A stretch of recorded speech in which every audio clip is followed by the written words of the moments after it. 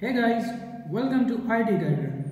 In this video, we will show you the basic features and working of ESP8266 Wi-Fi module.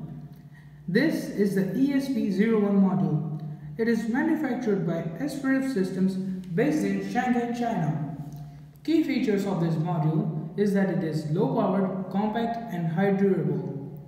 ESP8266 is low powered and integrated Wi-Fi based microcontroller with functionality similar to Arduino microcontroller. It is also used as a web server. There are two models of ESP8266, old one and new one. The blue colored model is old one and the black colored model is the new one. Main features of ESP8266 are it is based on Tensilica Xtensa L106 32-bit microcontroller.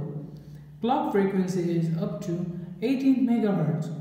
Instruction RAM of 64 KB. Data RAM of 96 KB. Flash memory of 512 KB for old model and 1 MB for new model. It extends up to 16 MB for other models. Supported Wi-Fi protocols are 802.11 B, G, and E, I. Operating voltage ranges from 2.5 volt to 3.6 volt, but preferable operating voltage is 3.3 volt, which can be generated using LM1117V33 voltage regulator IC. Average operating current is 80 milliamps. Operating temperature ranges from minus 40 degrees Celsius to 125 degrees Celsius. Now let's look at the pin functionality of ESP8266 ESP01 module. This is the RX pin. RX pin is used for receiving the serial data. It is used for communication between two devices or boards. RX pin receives the serial data sent by other board or device. This is the VCC pin. VCC pin is used to power up ESP8266. Ideal power supply is 3.3 volt. It can also operate on power between 2.5 volt to 3.6 volt. This is the GPIO 0 pin. This pin is general purpose input output pin. It is also used to change the mode of ESP8266 to programming mode. This is the reset pin. This pin is an active low pin. To reset module, set RST pin to 0 volt.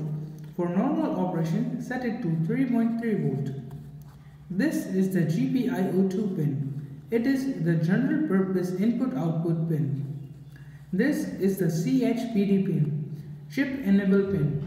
Supply 3.3 volt to enable the chip. This is only required in new models. In old model, you do not need to supply 3.3 volt to enable the chip.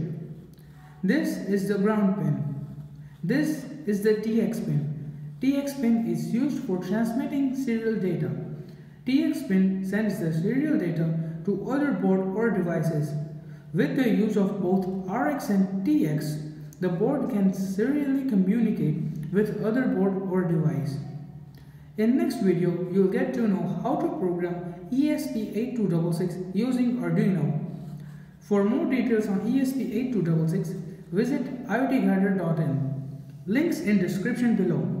Please like, follow and subscribe to stay tuned for new updates. Thank you.